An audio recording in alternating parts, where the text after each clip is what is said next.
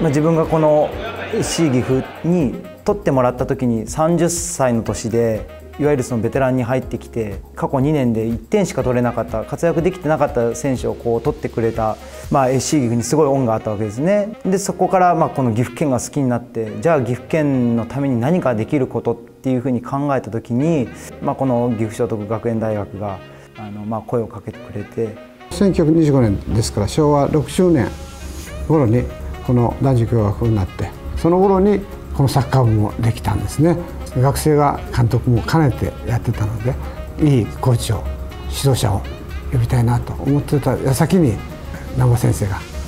おられて。あのやっぱこれも本当にありがたいことだなと。なんで僕にそうやって声かけてくれたんだっていうところを考えるといろんなところで期待されてるっていうところがあると思うんでその気持ちは忘れないで恩を返すっていう気持ちでやっていきたいなというふうに思います。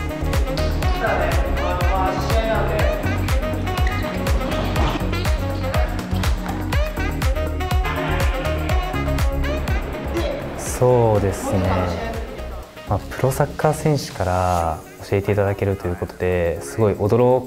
きが大きかったですね。ちょっと怖いのかなって最初は思いました、はい、実際はなんかすごく優しくて僕らに挨拶からたくさんコミュニケーションをとっていただける方だなっていうふうに思いました。そうですね。あの学生たちにはですねサッカーだけじゃなくて4年後出口のところで立派な社会人になってほしいと。挨拶だったり相手を敬う気持ちであったりサッカー以外のところですねも学んでもらいたいなというふうに思います。スポーツイコール大学教育と。大学のスポーツはただ単に技術力ではなくてね人格力を磨きそして地域へ貢献できる大きなね、えー、力になるというふうに思ってますね。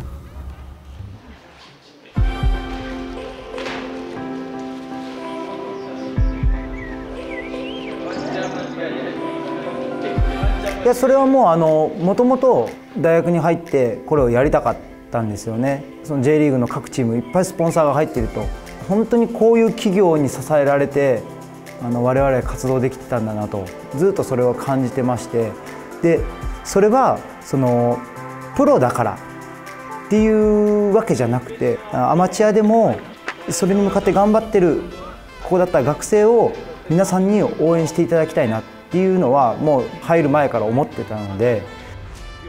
いやもう本当になんか光栄だなって思いますね。はい、なんかこう僕らがこんな素晴らしいユニフォームを着れるのは企業さん方のおかげですしこう応援してくださるってことが本当に僕たちにとってはありがたいことなので周りを見渡してもじゃあこんなにたくさんの企業が入ってるあの大学があるのかっていうとそうじゃないと。いうところでやっぱ学生たちは喜んでたと思うんですね。ただ僕の狙いとしてはじゃあ君たちが頑張ってるからこうやって支援してくれる企業があるんだよって終わりじゃなくてやっぱり大学生ですのでじゃあそこから先のところを僕は見据えてですねこのウェアと接してもらいたいなっていうふうに思っててこうやってついていただいてる企業様を背負ってね彼らはやってくれると僕は信じてるんで。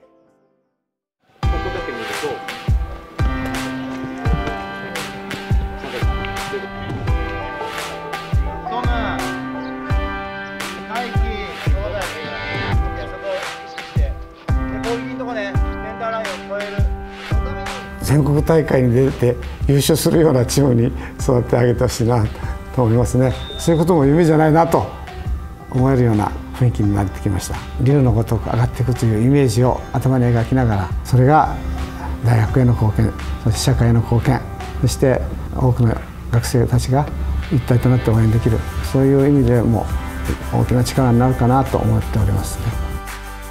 とにかく僕たちは学生サッカーという中で勝利を目指してやらないといけないです。しでその先の社会に出た時のことも視野に入れながらあの学生たちはやっていかなくちゃいけないかなと、まあ、そういう中であの東海リーグの一部をまずは目指していくんですけどじゃあ東海リーグ一部になった時にじゃあ全国の大学から東海リーグを見た時にやっぱりこうレベルは低い。でまずこれを僕は変えていきたいなと。で今岐阜県内では岐阜協立さんが、まあ、一部でずっと頑張られてるんですけどまずそこに追いつくことそして追い越すことでまず岐阜県のレベルが上がると。やっぱ東海のレベルをまずはこの岐阜県から上げていってでその先にですねやるからには日本一を僕は目指してやろうと思ってるんでここからのし上がってやろうっていうやっぱそういう気持ちが必要なのかなというふうに思ってますんで、まあ、それはあの選手だけじゃなくて監督の僕がまず持ってないとそれはできないと思ってますので頑張ってやっていきたいなというふうに思ってますね。